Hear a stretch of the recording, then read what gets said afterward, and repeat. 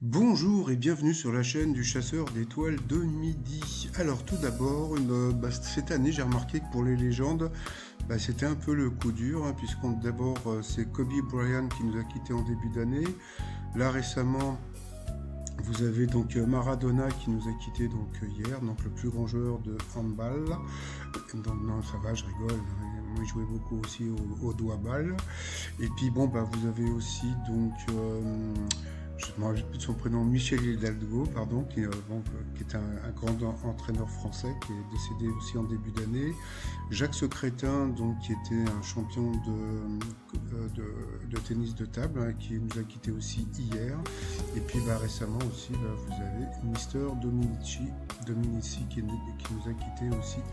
Donc ça fait beaucoup de monde euh, dans les légendes qui nous quittent. Allez, sinon ça va commencer. Petit résumé des 12 coups de midi d'aujourd'hui. Alors bon, alors aujourd'hui c'était à la One Again, hein, je sais pas si vous vous rendez compte, on vit où? On vit en France, d'accord Et ben voilà, Jean-Luc Reichmann a fêté Thanksgiving. Ben voilà, donc déjà en fait euh, Halloween, Thanksgiving, donc euh, bah voilà, donc euh, bah, bah, après qu'est-ce qui va nous rester? Il va nous rester l'indépendance Day, tiens, et pourquoi on ne fait pas l'indépendance Day aussi en passant?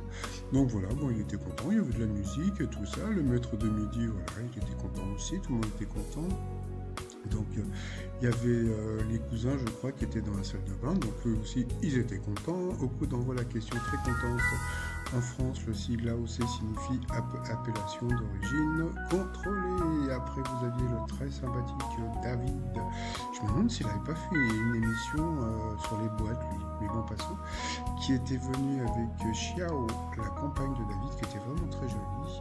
Donc, euh, bonjour Ensuite, comment Maomi Tiens, c'est bizarre quand même, ils ont posé une question sur une asiatique, mais en passant.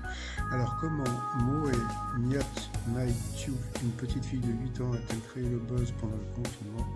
Donc, c'était avec des recettes de cuisine en ligne. Après, vous aviez Yel qui avait un joli pull rose qui était venu avec Andrea qui était très mignonne, qui était à Joinville-le-Pont.